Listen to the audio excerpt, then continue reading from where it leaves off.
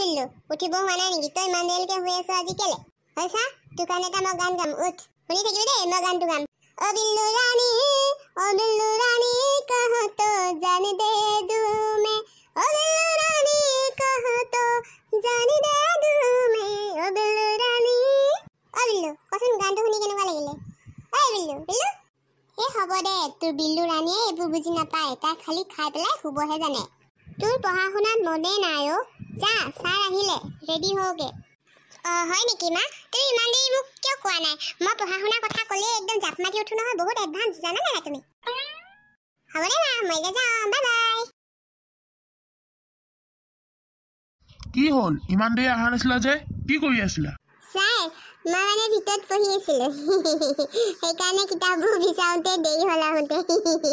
মই মানে any time পঢ়িয়ে থাকোঁ। অঁ ভাল তেতিয়া। এনেকুৱা ল'ৰাকহে পঢ়াই ভাল লাগে। ছাৰ আমাৰ ইয়াক অকণ ভালদৰে বুজাই দিবচোন। ই মানে পঢ়া শুনাত ইমান ভাল নহয়। দিনটো গোটেই দিনটো টিভি আৰু মোবাইল চাই থাকোঁতেই যায় ইয়াক অকণ ভালকৈ পঢ়াই দিব। অংকটো একদমেই নোৱাৰে ছাৰ। অংকয়ে কৰক নেকি আজি? ঐ শুনিছ নহয়? মই ছাৰক কি কৈছোঁ? আজি অংক উলিয়া। আৰু ছাৰে যিখিনি কথা ক'ব সেইখিনি একদম পূৰা মন দি শুনি যাবি। আৰু কিতাপকেইখন টেবুলত থ'ব লাগে নে চকীত থ'ব লাগে হা? আৰু তই বদমাচি নকৰিবি আকৌ। মই এই ওচৰৰ ৰুমটোতে বহি আছোঁ দেই। হ'ব মা।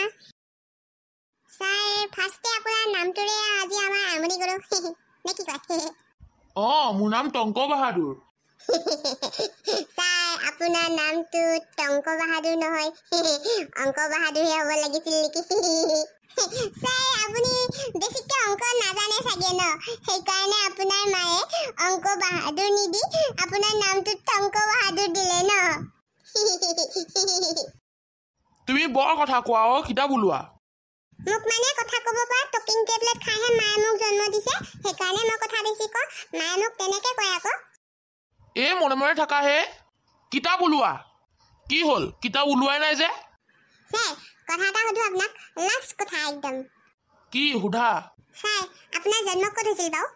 অঁ লখিমপুৰত। ছাৰ আপোনাৰ ৱাইফৰ ঘৰ ক'ত? নগাঁৱত ছাৰ তেন্তে আপোনাৰ ল'ৰাটো ক'ত জন্ম হৈছিলে?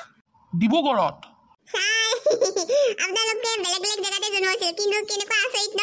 একলগ কেনেকৈ হ'ল বাৰু আপোনালোক?